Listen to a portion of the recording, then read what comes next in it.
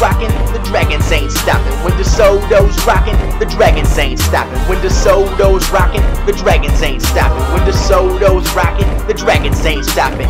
Yeah, that's right, we're back. The DeSoto Dragons, last district champions. But we ain't bragging. The fans going crazy when we hit the flow. You can hear them all chanting for a DeSoto. Everyone's ready for a show, show time. All the players warming up from the free throw line.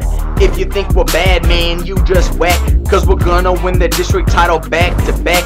If you need a guy that can take it to the hole, you better get the ball to John Crow.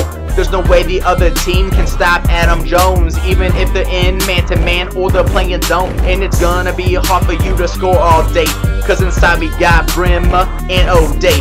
And the guy that's good, it's so scary, is the sophomore, and his name is Harry. Brad Barron always setting those picks. He be on you so tight, you be throwing up bricks. A guy that will be scoring on you all night is the freshman, and his name is Jared White. The guys coming in and out of the game are Hovis and Mace, Sapper, White, and Kane. All the players know how to represent that white and green, and you'll know when the dragons hit the scene. When DeSoto's rocking, the dragons ain't stopping. the DeSoto's rocking, the dragons ain't stopping. When the DeSoto's rocking, the dragons ain't stopping. When the DeSoto's rocking, the dragons ain't stopping.